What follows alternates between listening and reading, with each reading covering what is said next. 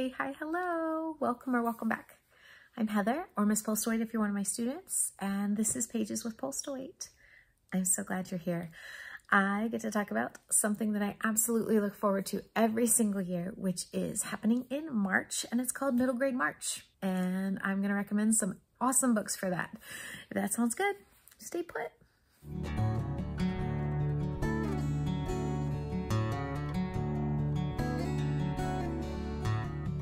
Right, so we are going to talk about middle grade March and the prompts. I'm gonna give you two recommendations of ones that I have read and then I aimed for two for ones that are on my possibility list.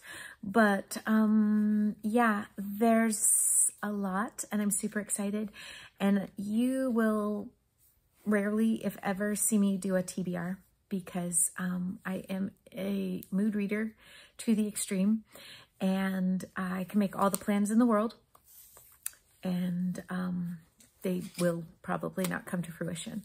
So it's easier for me instead of a TBR to be read, I will do a possibility list. So let's see my possibility list. They're big. All right, so Middle Grade March is happening. I'm so excited and I will link below the creators of Middle Grade March, the ones that host it, the ones that um, have been doing this for years so that you can kind of get to know them. Um, they will be linked below so you can get more information and I highly recommend you check them out. Krista at Books and Jam, I think is the creator and she's had lots of people over the years who have joined her and helped out. And I've only been, this is my third year participating in middle grade March, and I'm delighted. Second, this is my second, maybe my second or third year participating in middle grade March. I'm having a brain moment. Anyway, I'm super excited. And so here's the prompts. The first prompt is to read a book with a one-word title. I love this because um, that is so easy to fulfill. In fact, my possibility list is like ooh, astronomical. So um, while I promised you two, I'm actually going to give you four. I don't have all of those books here with me. I apologize. Um, so I'll put the image up here and that way you can see the cover, the title, the author, everything with it.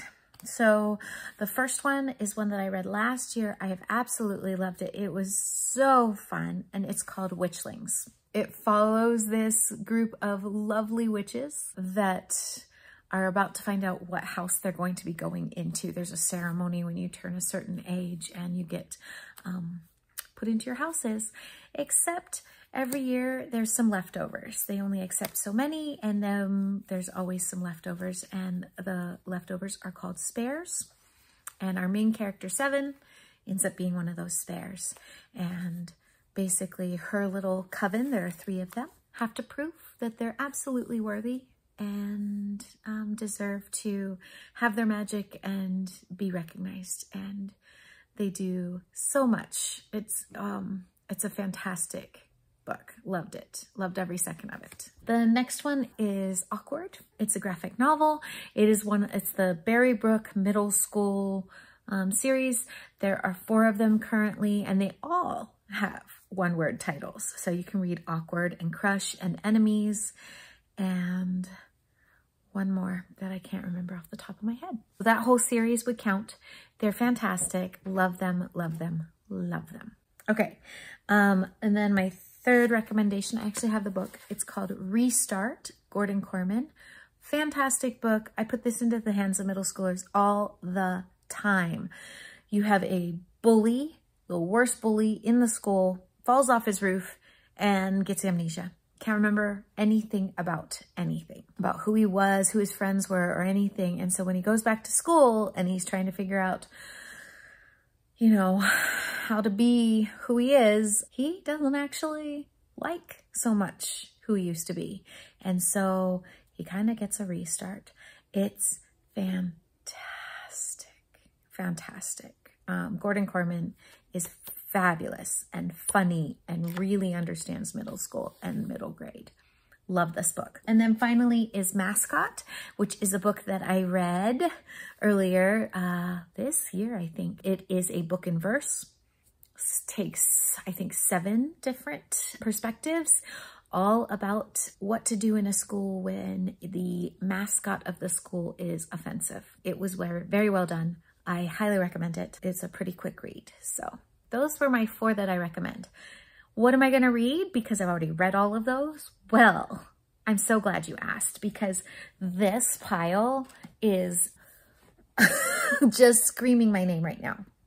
So I'm more than likely going to go with Ghost. And Ghost fits also the last prompt I'm going to talk about, which is a book that you feel like you missed out on. I recommend these two, kids because you can't go wrong with Jason Reynolds.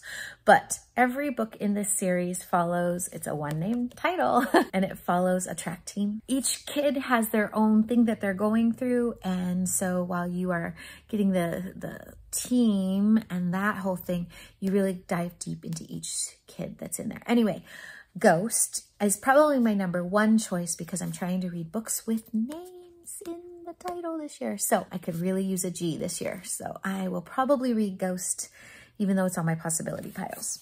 Fuzzy is a robot goes to school and we're trying to figure out how the dynamics of that are. And of course we have bad guys that we're trying to defeat or dissuade or anyway, um, I think I read this years and years and years and years ago. And so I'm actually really excited. Sorry, there's the authors. Um, really excited to try this one again.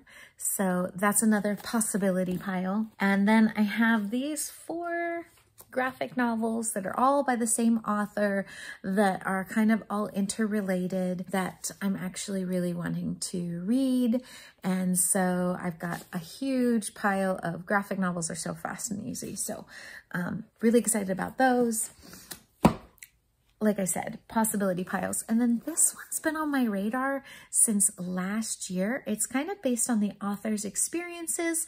Um, so here he is in middle school Ross Maloney has always just wanted to fit in, but when he's diagnosed with a rare eye cancer, he's suddenly the standout cancer kid of seventh grade. This has looked really good. It was actually in the running for the Grand Canyon Reader Award last year, and I wanted to read it for a while.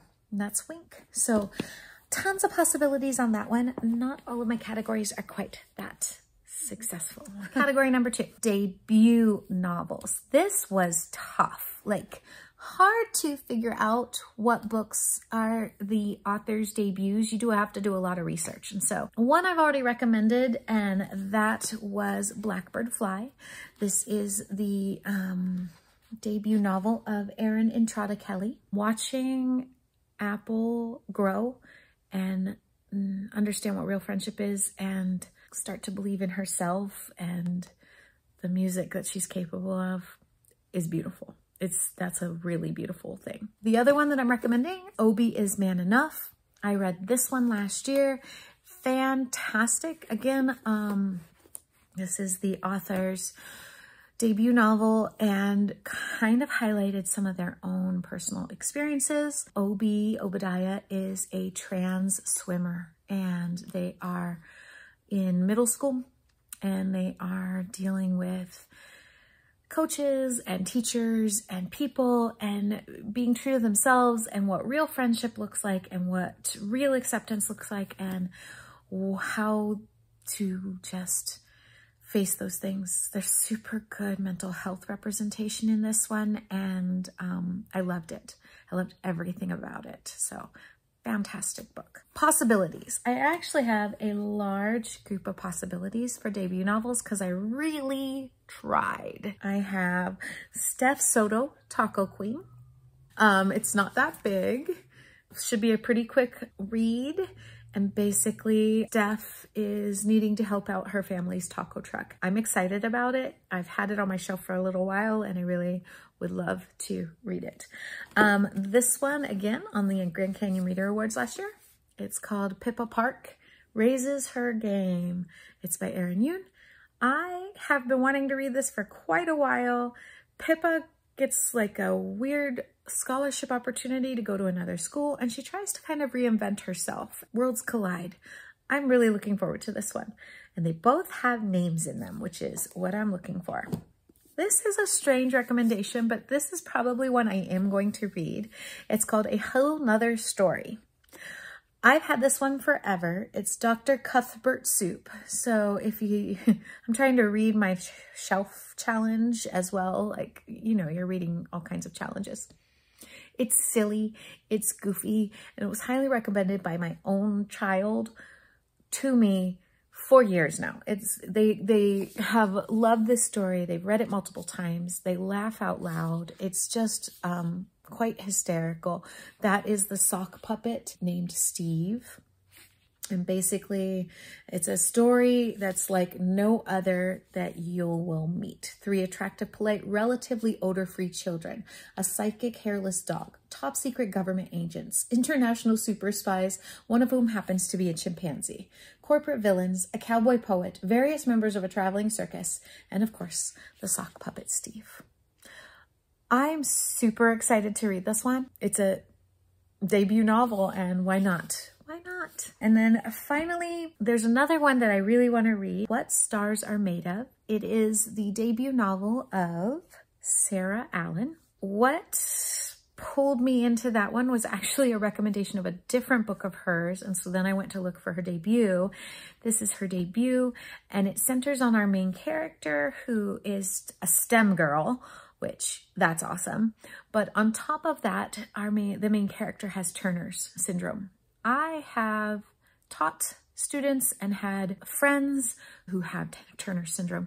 And I've never seen a main character center that. It isn't own voices. It sparked my interest. So I am for sure going to be reading that one. So very excited to just kind of follow this lovely STEM girl as she uh, focuses in on stars. Yeah, it looked really, really good. The next one is immigrant refugee. That's our category. And a couple that I have mentioned already do count in this one if you like to double dip. um, so the first one is Mananaland that I'm recommending. I read that one last year. Fantastic. Wow. The book focuses on uh, the main character trying to figure out what the struggle is and why he doesn't have a birth certificate and he kind of goes through some adventures and some realizations and looks at his grandfather's stories that he's always been telling him about the heroes that rescue people. And maybe they aren't just stories. And it's it's beautiful. It's an incredibly jam-packed emotional ride. Mananaland. Gorgeous story. Highly recommend. The second one that I uh, have is Front Desk. This one's been around. In fact, Kelly Yang has multiple in this series, so I've actually read this one, but I haven't read the second and third in the series, so I'm actually thinking that I might pick up those as recommendations, but um, Front Desk is my recommendation. Our main character, Mia, her family has come to California and they are running a hotel and things are different. Uh, it's a fantastic read. If you never read a Kelly Yang, I highly recommend. She really gets middle schoolers. She does a very good job with it. Um, it's fun. It's a fun book. Okay, so those are my two recommendations. What am I reading? Well, here's my possibility list, and I probably am reading this one because the name on it gives me the ZE or the Y for my middle grade bingo that I'm trying to do. But this is Zachary Ying and the Dragon Emperor. This is the author that wrote this one, wrote some others that you're probably familiar with. Uh, I did not know that till I started doing some research here. I am super excited to read this now. So that's at the top of my list for this one. So so Zachary Ying has never had many opportunities to learn about his Chinese heritage. His single mom was busy enough making sure they got by, and his school never taught anything except Western history and myths. So Zach is woefully unprepared when he discovers he was born to host the spirit of the first emperor of China for a vital mission to seal the leaking portal to the Chinese underworld before the upcoming ghost month blows it wide open. Only things go wrong, as things will, And instead of the spirit in um, inhabiting him, I believe it inhabits his like VR headset. So this looks fun and fantastical and I love it and I can't wait to read it. The next one that I have on my possibility list is getting all kinds of awards and recognition right now, and it is called Mexikid, and I'll put it right here. It's a graphic novel, and it basically focuses on a family that is going down to Mexico to get, I believe, the grandfather and bring him back. I can't wait. It looks fantastic. It's getting all the awards and um, everybody's raving about it. So highly recommend for you too, but I haven't read it yet. So that's on my list. And then um, finally, Boy Everywhere. So this one follows Sami, who um, has lived in Damascus, Syria for a while, but things start to happen and it becomes too dangerous and his family basically immigrates to the UK only it doesn't go wonderfully and there's some pushback. And so this just looks heart-wrenching and timely so I'm actually very excited to read this one, trying to avoid the glare. So, and I've been trying to read this one for a while now. I've checked it out from the library multiple times. So I'm getting to it in March. Boy Everywhere. Our fourth category is Animal on the Cover. This one's not hard. and there's a whole variety of books you can go with. For my recommendations, I am going with a couple different ones. I just read it last month. It's called The Barren Ground. It is the Misewa Saga number one, and it's kind of a indigenous voice um, Chronicles of Narnia story. And there are animals on the cover. Um, I read that one. So I'm actually, just to, uh, spoiler alert, um, go for the book that I'm going to read is actually number two in that series. So I'm actually looking at that one and it's called The the Great Bear. That's the one I'm going to read. And um, obviously there's a bear on the cover. So there's that. Funny enough, the second one also is uh, a book where I've read the first one and my plan is to read the second one. And that is Omega Morales and the Legend of La Lechuza tongue twister. Okay. I was delighted by this book. It's so much fun. If you like um, families that have a little bit of magic to them and like a legacy kind of thing where the village around them used to recognize them as like useful and supportive and helpful and now kind of looks at it kind of side-eyed. Um, and then your main character in here, she is struggling with her magic. It's not working the way it's supposed to. Something's wrong there. Um, yeah, it's fantastic. It's so wonderful. Her best friend's a ghost. I mean, it's just a delight. And I've been waiting and waiting and waiting for the second one to come out and apparently it's out. So I'm just trying to grab it from the library. And that one's called, of course I don't have it written down, Omega Morales number two. I'll put it right here and then we'll learn the title together. But that is the one that I want and I know there's an animal on the cover. So those are my two recommendations with my two um, possibilities that I will probably read because I loved those the originals. And that takes us to books that you missed out on. This one's kind of a personal thing. It's kind of a hard one for anybody to push on you because what did you miss out on? And uh, I don't know. So here are the ones that if you missed out on these, you really missed out and maybe go take a look at these. And then I'll tell you the ones that I feel like I missed out on and share those with you. This book does not get nearly enough recognition or love. I absolutely adore this series and it's got fantastic authors and that is The Iron Trials. This is um, Holly Black and Cassandra Clare. They're middle grade. They wrote it years ago. It's got, I want to say, five in the series. And it focuses in on these main characters here. Our main character that tells the story in this one is Callum Hunt. And Callum Hunt has been raised in um, by his father after his mother died to absolutely want nothing to do with the Iron Trials. It's this test you go and you take, and if you pass, you are taken to the school to kind of hone your magical abilities. He basically has been taught that you need to fail this test. Do not go with this test. Magic is evil, magic is bad, magic, magic, magic, bad, bad, bad, bad, bad. Well, he can't really help it, and no matter how hard he tries, to fail and he wow he fails beautifully. Um it's some of the most hysterical lovely writing. I've taught this book in my classes before. It's so much fun. Um so what happens when you are brought to the school and have to learn or unlearn everything that you thought you knew?